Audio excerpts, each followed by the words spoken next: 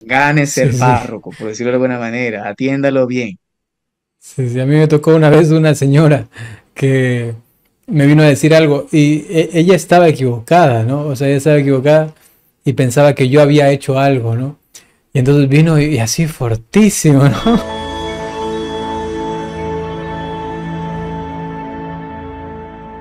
¿Por qué eh, si en la comunión es momento, eh, voy a parafrasear la pregunta porque creo que ya subió, pero ¿por qué no se hace silencio y por qué se canta? Mire, el canto es importante en la liturgia. Eh, San Agustín decía, quien canta, ora dos veces. Eh, lógicamente, entiendo su preocupación y su propuesta. Usted puede hablar con el párroco, hable con el consejo de pastoral y diga que si antes se hacían dos cantos en la comunión, que usted quisiera tener un momento de silencio. De hecho, el Santo Padre Francisco ha recomendado varios silencios en la liturgia, en la de- en la... eh, estoy confundiendo la Gaudium es Spes con la Evangelio Gaudium. eh, recomienda al Santo Padre el silencio después de la predicación, el silencio después de la comunión.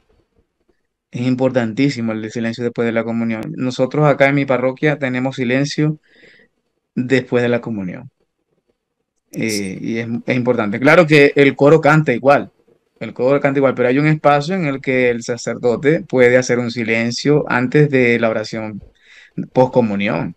Propóngale a su párroco con cariño, con respeto, eh, dígale por qué usted le propone el silencio después de la comunión, pero lo digo así, perdonen que lo remarque, porque algunos laicos hacen observaciones a los sacerdotes de una manera indebida. Entonces, gánese Sí, el sí. párroco, por decirlo de alguna manera, atiéndalo bien.